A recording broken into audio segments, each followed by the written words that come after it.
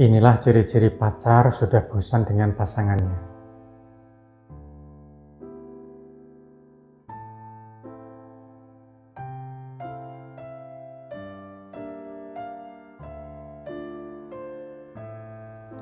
Assalamualaikum warahmatullahi wabarakatuh. Saudara yang dirahmati Allah Subhanahu wa taala, semoga kita semua senantiasa diberikan kesehatan, dilancarkan segala urusannya dan dijauhkan dari bala maupun musibah. Amin. Allahumma amin. Ya, dalam kesempatan kali ini saya akan membahas ya, ciri-ciri pacar itu sudah bosan dengan pasangannya. Ya, menjalani menjalani hubungan asmara ya tentu tidak luput ya dari keliru atau lika-liku perasaan ya. Ya permasalahan asmara itu sangatlah beragam ya untuk saudaraku semua. Contohnya itu adalah bahkan alasan bosan itu bisa jadi ujian ya, dalam mempertahankan hubungan suatu hubungan. Nah dengan mengenali dengan mengenali ciri-ciri pasangan ingin putus karena bosan yaitu bisa jadi salah satu ya cara untuk mencegah keretakan hubungan yang sedang Anda bina ini. Nah, tanda-tanda yang diperlihatkan pasangan itu bisa menjadi peluang ya. Peluang berbicara dari hati ke hati untuk memperbaiki suatu hubungan Anda menjadi lebih baik lagi. Nah, berikut ini adalah beberapa ciri seseorang itu bosan dengan pasangannya. Yang pertama itu adalah pasangan itu sering mengabaikan Anda. Nah, tanda pasangan itu mulai jenuh itu bisa dimulai dengan seringnya dia itu mengabaikan Anda. Di saat sedang mengobrol, maupun beraktivitas bersama. Nah, sikap pasangan ini itu bisa pula dipicu karena kesibukan. Ya. Biarpun begitu, sesibuk-sibuknya dia itu tak akan mungkin lah ya, sampai tidak menghubungi Anda hingga berhari-hari. Terus kemudian yang kedua itu adalah pasangan Anda sering mengakhiri obrolan. Nah, pasangan ini itu mulai kehilangan ketertarikan ya terhadap Anda. Ya, hal ini itu bisa ditunjukkan dengan seringnya dia itu mengakhiri obrolan. Ya. Sering mengakhiri obrolan terlalu awal. Ada saja alasannya yang dibuatnya untuk segera menjauhi dari Anda. Ya baik saat chatting, telepon maupun dalam pertemuan bersama.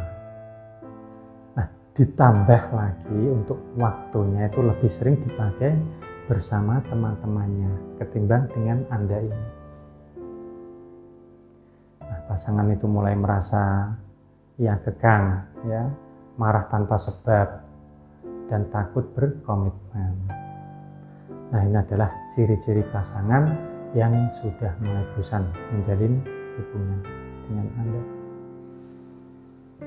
Lalu yang ketiga itu adalah membisu.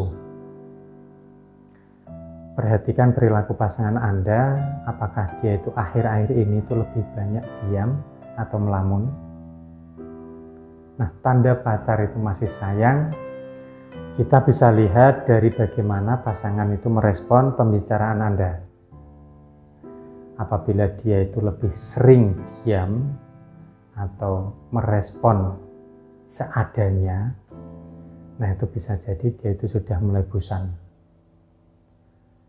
Ya, namun bisa juga karena ada hal lain yang mengganggunya itu juga bisa. Sikap pasangan yang diam seribu bahasa seperti ini jangan sampai dibiarkan berlarut-larut. Lalu yang keempat itu adalah kurangnya pujian dan perdebatan tanpa ujung. Kurangnya gairah dalam hubungan atau suatu hubungan itu bisa ditandai dengan kurangnya pujian yang diberikan kepada Anda. Misalnya, pada saat Anda itu merubah penampilan dengan memotong rambut atau Anda itu ganti gaya berpakaian secara sengaja untuk mendapatkan perhatiannya. Nah, dalam membina hubungan, pertengkaran kecil itu biasa terjadi, ya. tak jarang. Pertengkaran ini itu membuat hubungan itu jadi lebih dekat. Nah, bila pada pertengkaran yang terjadi sikap pasangan Anda itu justru berbeda, nah itu bisa jadi dia itu sudah mulai jenuh hubungan dengan Anda. Lalu yang kelima itu adalah dia itu mulai terganggu dengan hal-hal kecil.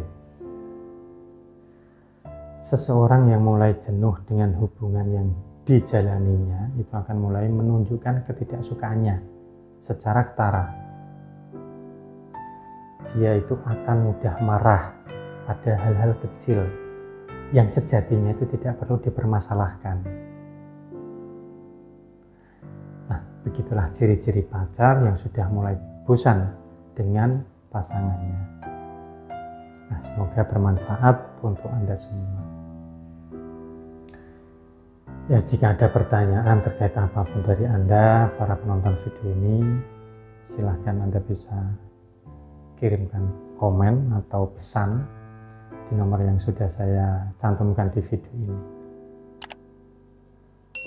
Lalu jangan lupa pula untuk Anda subscribe channel ini ya karena masih banyak video yang menarik yang saya untuk Anda lewatkan. Saya Barom Doni, pamit undur diri. Wallahul muwaffiq ila Wassalamualaikum warahmatullahi wabarakatuh. Alhamdulillah, ya Allah ya Karim, Alhamdulillah.